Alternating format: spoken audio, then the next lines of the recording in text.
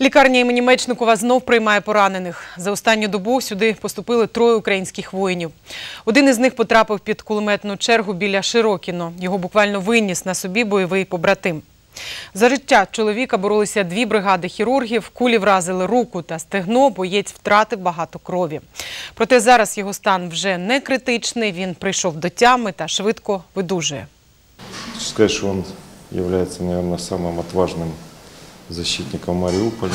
У нас он второй раз, первый раз полтора года назад, в июне 2015 года.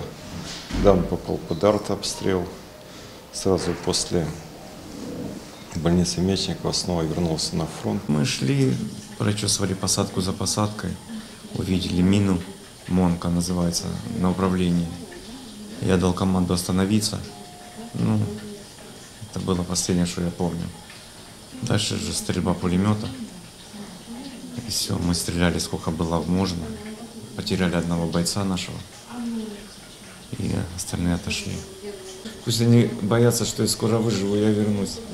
Пока они топчат нашу землю, я буду за ними приходить.